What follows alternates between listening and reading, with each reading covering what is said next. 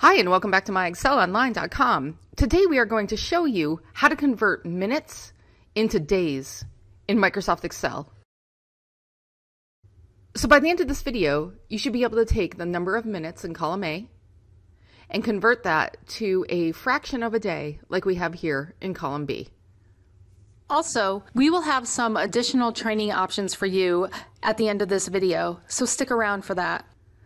So if I click in cell B2 and I want to convert this number of 141 minutes in cell A2, I just need to type equals, click on A2, and then divide by the magic number of 1440, which is the total number of minutes in a day.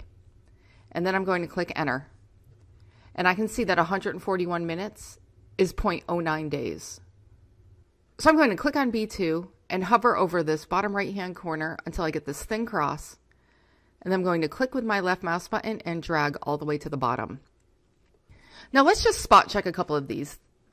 If I said 1440 is the number of total minutes in a day, if I see 2168, this should be over a day because it's more than 1440 and it is. And this 1067 should be close to a day. And this number right here should be about four days. So this is correct. If you are liking this video, please give us a thumbs up and subscribe to our channel and hit the bell button to get notified when we release our weekly videos. A second way to do this is to use the convert function. So if I click in B2 and I type equals convert with a left parenthesis, I will be prompted for what number I want to convert. So again, I'm going to click on A2 because that's where my number of minutes is. And then I'm going to type a comma. And the next argument I'm being prompted for is my from unit. So Excel needs to know what I'm going from. And in this case, I'm going from minutes.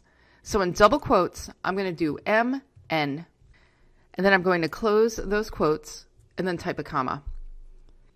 And then my last argument is what unit do I want to go to? So in this case, in double quotes, I'm going to put day because I want to convert to days. And then I'm going to close my quotes, close my parentheses, and hit enter. And I can see that I'm being returned with a 0.098, just like last time. So if I select cell B2 and hover over the bottom right hand corner until I get this thing cross, I can hold my left mouse button down and drag to the end of my data set and copy that formula down for the rest of my cells.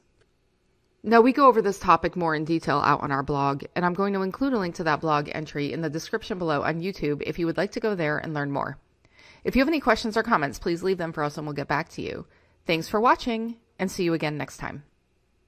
If you want to learn more about Microsoft Excel and Office, join our Academy online course and access more than a thousand video training tutorials so that you can advance your level and get the promotions, pay raises, or new jobs. The link to join our Academy online course is in the description. If you like this video, subscribe to our YouTube channel. And if you're really serious about advancing your Microsoft Excel skills so you can stand out from the crowd and get the jobs promotions and pay rises that you deserve, then click up here and join our Academy online course today.